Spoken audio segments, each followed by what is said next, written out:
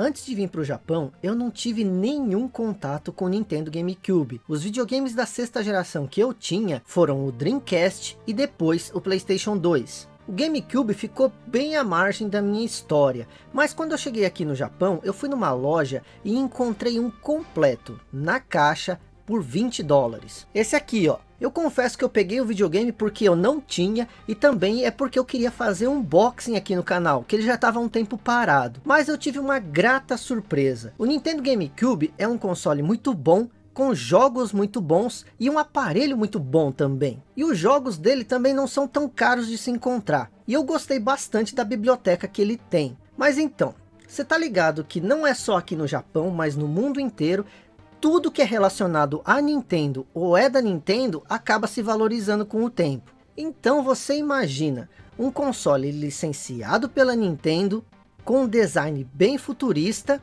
e que sem dúvida é considerado por muitos um dos consoles mais bonitos já lançados. E aí você junta tudo isso que ele vendeu pouquíssimo. Aí você tem todos os ingredientes que fizeram o Panasonic Q se tornar um videogame assim tão cobiçado. Pois bem, o vídeo de hoje é sobre a versão do Nintendo GameCube mais rara do mundo, o Panasonic Q. No vídeo de hoje, vamos saber a sua história. Por que o videogame nasceu? Quais as suas principais vantagens em relação ao GameCube comum? Por que vendeu tão mal? E claro, vou mostrar ele com detalhes e botar ele para funcionar. Então, bora!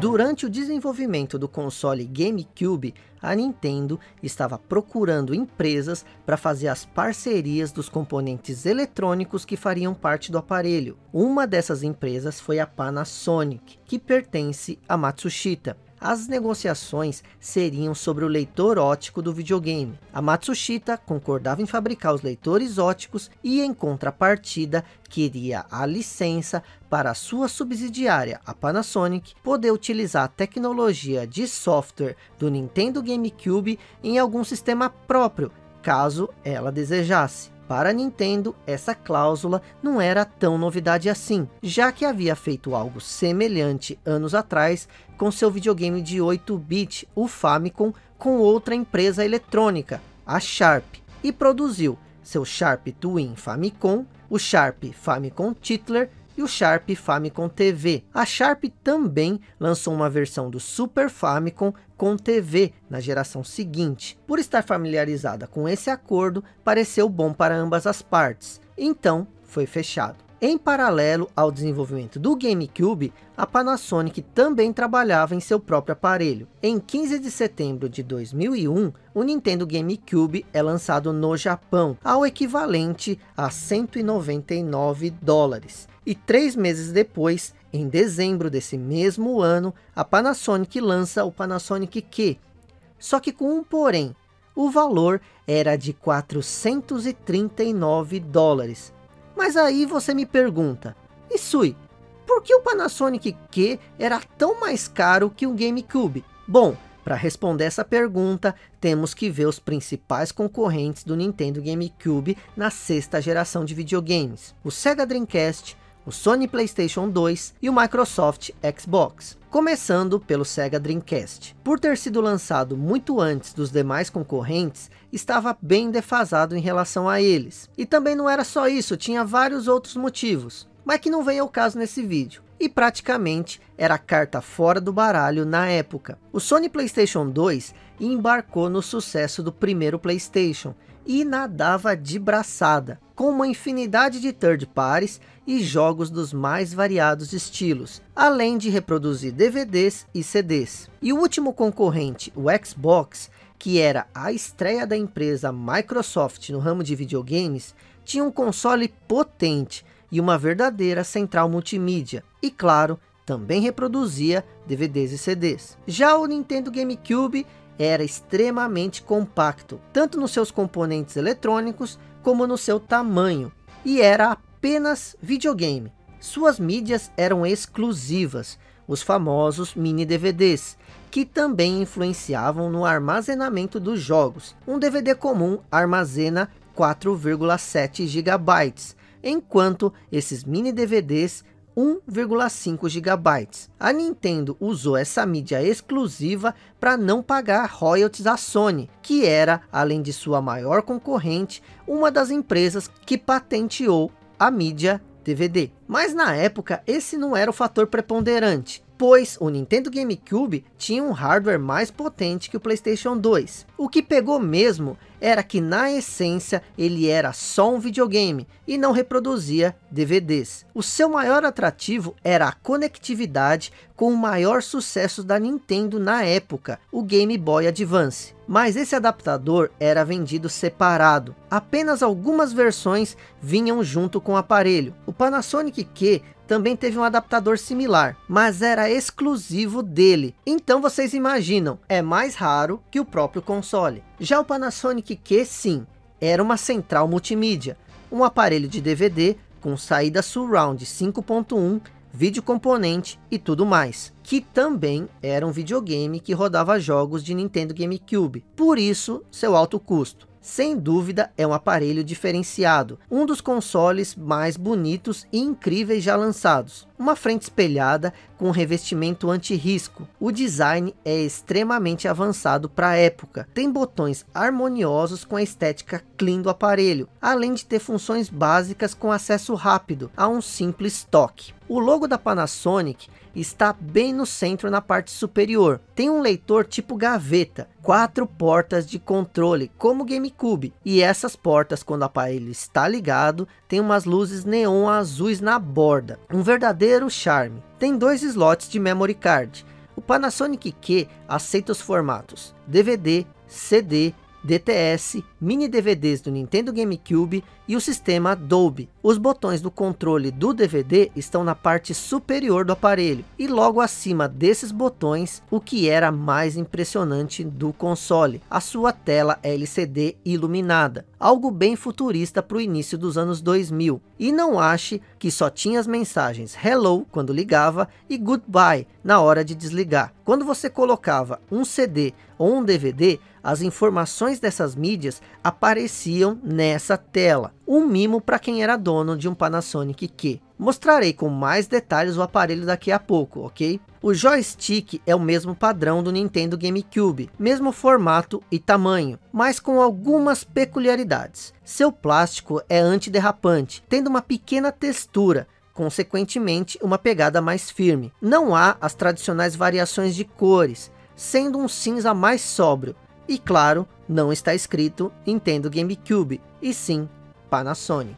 Tecnicamente, o Panasonic Q é idêntico ao GameCube. Em matéria de hardware e desempenho, o som é levemente superior e é possível com seus recursos modificar ou aumentar a frequência específica para produzir efeitos sutis, durante o jogo ou na reprodução de DVDs e CDs. O plano de marketing da Matsushita era desenvolver um equipamento que primordialmente seria um DVD player e que consequentemente pudesse ter a função de um videogame. E nesse quesito teve um absoluto sucesso. O seu controle remoto é bem completo. A reprodução de DVD é a melhor em se tratando de imagem e cores em comparação com PlayStation 2 e Xbox. Além de ter um recurso bônus, as primeiras unidades tinham trava de região, apenas a região 2 era reproduzida, mas pouquíssimos aparelhos tiveram essa trava, pois em razão das baixas vendas no Japão, foi disponibilizado uma versão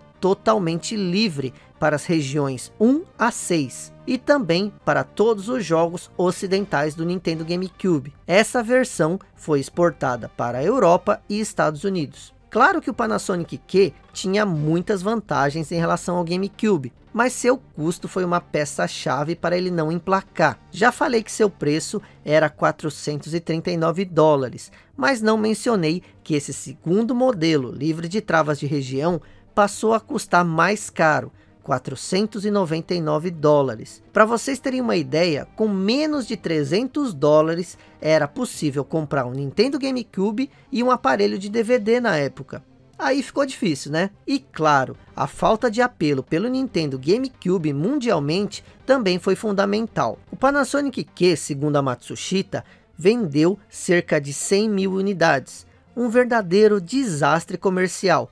Lembrando que o próprio GameCube não vendeu bem, ficou em um distante terceiro lugar entre os principais concorrentes. O PlayStation 2, que reinou absoluto nessa geração, seguido bem de longe pelo Xbox clássico e o Nintendo GameCube, só ficando à frente do Dreamcast. Exatamente por causa dessas baixas vendas, é um console bem difícil de se achar no mercado, e os fãs da Nintendo, de videogame e do GameCube sempre estão interessados por ele, por isso é toda essa raridade hoje em dia.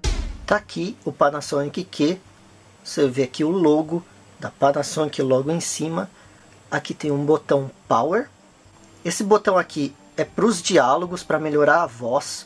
Esse botão melhora a imagem que é passada no DVD e nos games também. O reset dele, o botão que abre a gavetinha.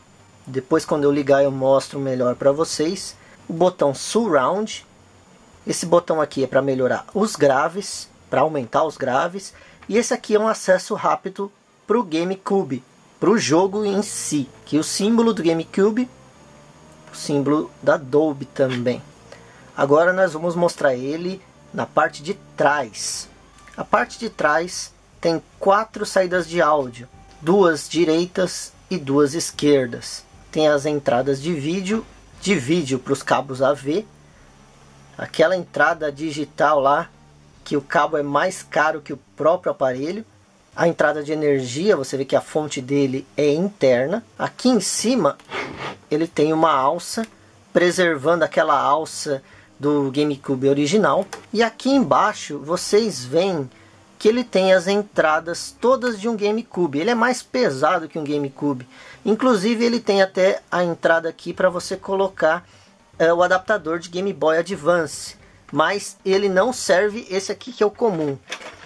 Deixa eu mostrar aqui para vocês. Esse aqui é um comum ele não cabe aqui nesse, nessa entrada. Existe um adaptador de Game Boy Advance para o Panasonic Q, mas ele é tão raro quanto o Panasonic Q. Eu não tenho aqui o controle e o controle remoto dele, mas serve qualquer joystick de GameCube nele. Vou pegar aqui um GameCube, pegar um cinza, porque o cinza é mais parecido com ele. Parecido não, né? A cor é cinza também. Se bem que ele é mais um chumbo, né? Vou deixar ele um do lado do outro para vocês verem o tamanho da diferença deles. É, o Panasonic Q também é bem mais pesado. Assim você vê bem a diferença. Agora vamos botar esse bicho para funcionar? Então vamos. Tá aí o Panasonic Q. Vou ligar ele. Vocês viram que eu não tenho é, o controle. Então eu, eu pluguei o controle aqui do meu GameCube laranja. Eu vou ligar ele para vocês verem apertando o botão aqui apareceu aqui a interface do Panasonic Q. Vou abrir a gaveta. Ah, já até vou mostrar antes ó, vou colocar esse jogo aqui o Soul Calibur. Essa aqui é a versão que tem o link. Você vê que bonito né? Essa luz neon em volta dos controladores. Aí apareceu aqui ó Soul Calibur. E eu vou apertar. Para apertar o Start, vamos apertar o Start.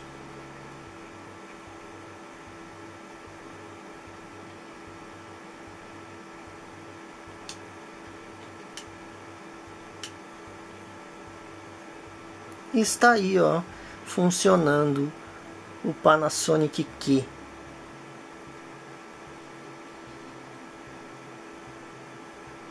Dá pra ver o reflexo de mim aqui atrás, que beleza.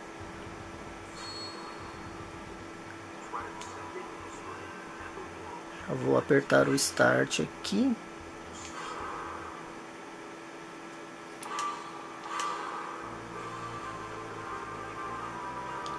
Quem eu vou escolher?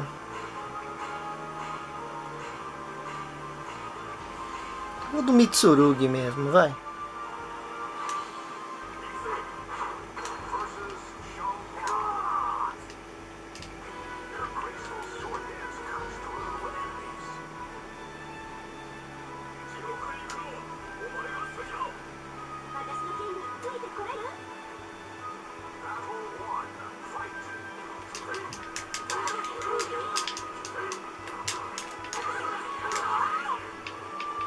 Jogabilidade excepcional do, com esse controle. Eu gostaria muito de ter conhecido o GameCube na época, que é um videogame muito legal mesmo. E eu tenho que parar mesmo aqui, porque senão eu vou continuar jogando, porque é muito bom mesmo jogar Soul Calibur, um dos jogos de luta que eu mais gosto.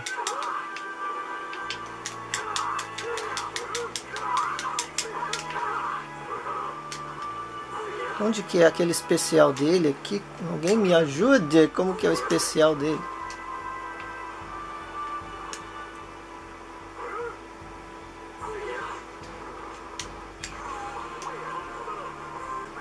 Mas tá aí, tá funcionando Panasonic Q para vocês. E como sempre, o vídeo não acaba por aqui. Eu quero saber de você. Você conhecia o Panasonic Q? Que, que você achou dele? Se já conhecia, me fala aí a sua história com ele. Tô doido para descobrir. Portanto, comentários abertos. Vamos lá. Ah, e mais uma coisa. Me segue lá no Instagram arroba Vitorisui e no Twitter também, que lá eu posto fotos e novidades que não apareceram no canal ainda. Beleza? Eu sou o Isui, obrigado a você que viu o vídeo até aqui e até mais.